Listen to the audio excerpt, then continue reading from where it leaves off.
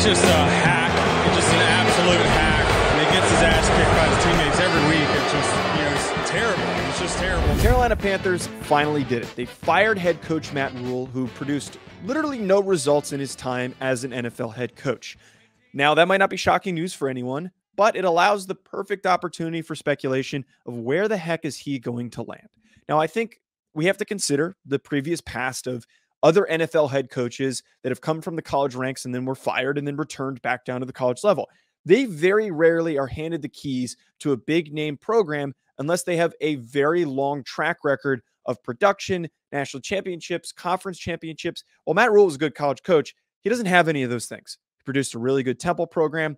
Baylor recovered after dealing with one of the biggest scandals that they've ever handled as a as a university and as a program.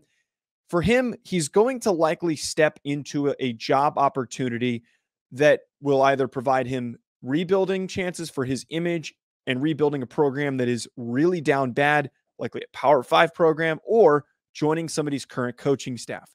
The two for me that fit that rebuild description is first Colorado. They fired Dorrell because that roster was terrible.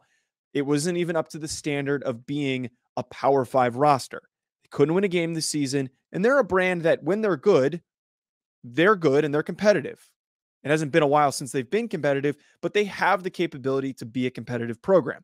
The more likely circumstance here is that he becomes Arizona State's head coach, unless they want to go in a different direction. I think he fits their situation perfectly. They're coming off of their own scandal, a recruiting violation, uh, actually not a, numerous recruiting violations by Herm Edwards and his coaching staff, who let that program run amok. And the results led to him getting fired. The lack of wins as well were disappointing for Herm Edwards and his staff, despite having pretty high hopes early on. That's a program that, if they're on, they're on. And I've said this a lot of times Arizona could potentially be and is turning into a hotbed for recruiting. There are a lot of guys that are coming out of that Arizona area, that Scottsdale area, that Phoenix area that are going on to play at big name Power Five programs. You're not going to be able to reel in all of those players, but at the very least, if you recruit the area well, you keep those guys home, you can be one of the best teams in the Pac 12. You also look at the fact that they're losing USC and UCLA. There is an opening for somebody to take over that conference and to lead them going forward.